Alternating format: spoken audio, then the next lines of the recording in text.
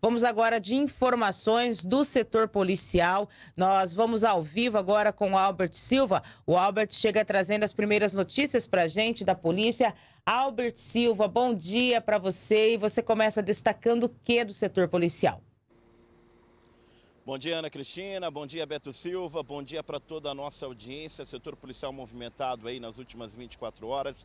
Destacando para essa ocorrência que ontem, durante o bloqueio policial na MS 158, é, no quilômetro 15 aí, os policiais determinaram a ordem de parada de um veículo, mano. Um veículo, veículo esse, um gol com placa da cidade aí de Campo Grande, sendo que o condutor acabou não acatando a ordem de parada aí dos policiais e furando esse bloqueio. Aí iniciaram aí um acompanhamento, uma perseguição, né? E aí aproximadamente 7 quilômetros os policiais conseguiram parar aí esse veículo.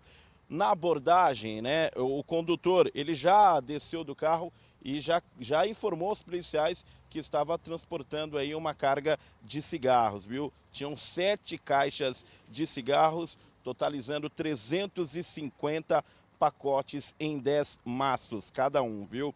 Em depoimento, ele disse que adquiriu aí esses cigarros no município de Bataguaçu, aqui no nosso estado, pagando a, quantia aí de 7 mil reais, não dizendo qual pessoa, né, que ele havia aí comprado aí todo esse cigarro e ele alega que vende cigarros aí na cidade de Brasilândia, foi dado voz de prisão e ele foi entregue juntamente, né? Ele e o veículo foram todos para a delegacia de Polícia Federal aqui em Três Lagoas.